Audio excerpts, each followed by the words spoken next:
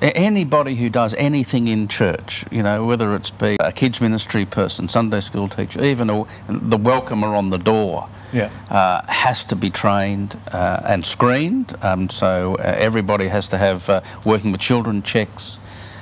So they, they need to be uh, appropriate people to start with in, in that space, but they also need to uh, to be trained for safe ministry. They need to be able to look out for things that are a bit of Alarm concern uh, and and have the right processes then to alert people if they have a concern uh, that that can be properly investigated.